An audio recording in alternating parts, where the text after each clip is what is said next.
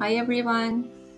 I'm gonna show you how you can create a shape like this. So uh, this shape has uh, some curves and some holes. Let's see how we can make it using Sketch. I'm using this tool. So grab it and put it on your work plane and then uh, you can start making a shape. So I start with clicking four times like this and then I select all of the points convert them to um, curves that have broken handles. See how you can move the handles? Yeah you can move the handles separately. If you convert them to smooth you will have um, handles like this. If you move one of them the other side moves. So um, depending on the shape that you want to make you can um, use any of these. So select any dot that you want to change. You can break the handle and move these handles around to see what you can make uh, so with these, we can make very interesting shapes. Also, we can uh, convert them to, um, what is this one called? Corner. If you click this, it will be a corner.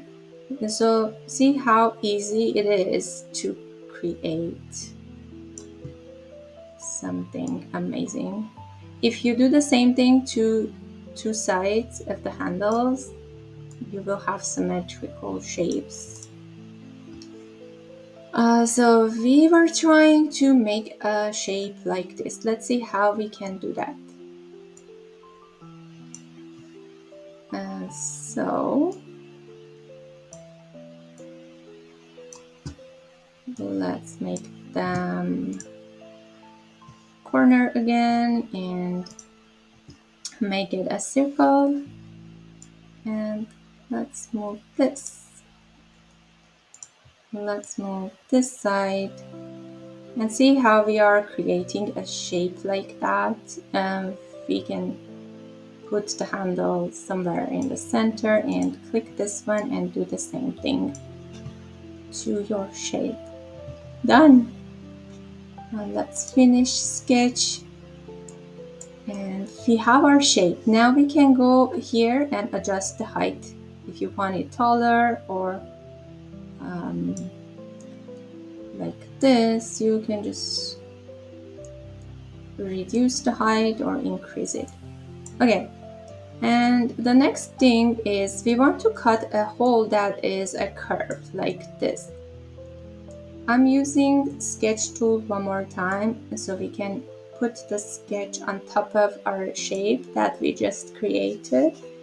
And we can make a closed shape with the four corners. And if you like you can move the two points to the sides. And then uh, we can select all of them and make them smooth. See how it changes the shape. Uh, here we can drag a selection around two of the points and using the arrow keys we can move it up and down. So let's say this is the shape I like. I can go say finish sketch. Now we want to um, align it perfectly and then we will make it a hole and we will cut. So let's make this a little bit shorter.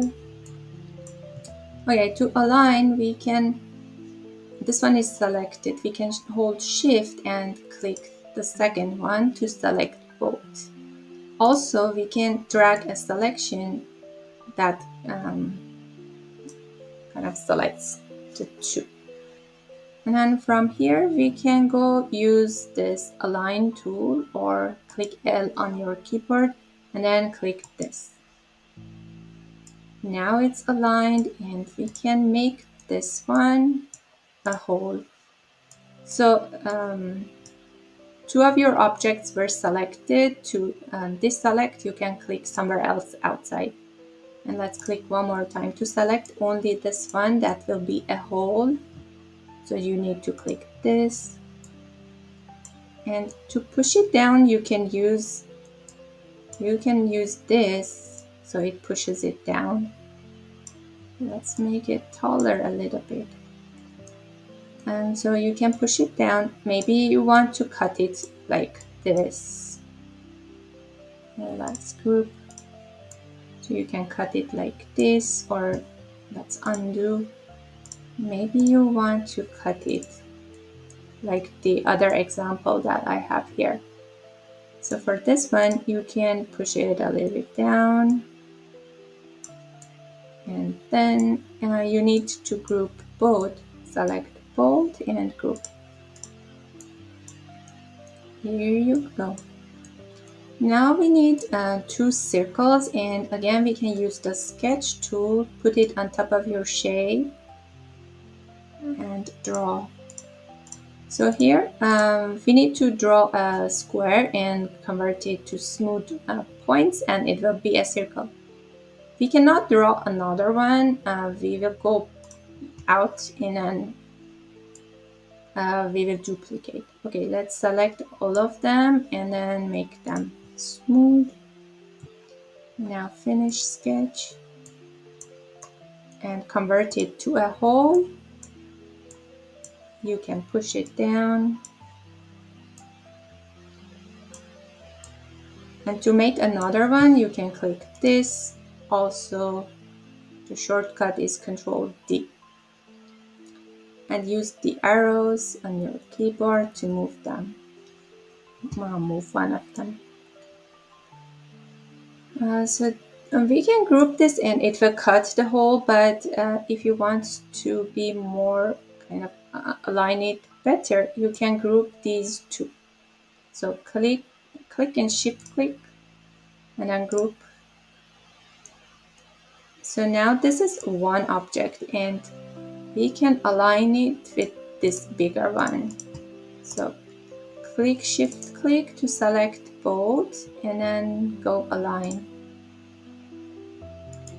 And see it was almost good but it was not perfect. Now we have aligned it perfectly and we are ready to cut. So to cut this we again need to select both and group.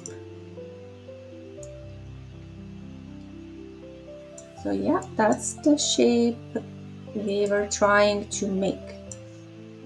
And if you want to remove the background no yeah, change the color of the background or remove the grid you can do this.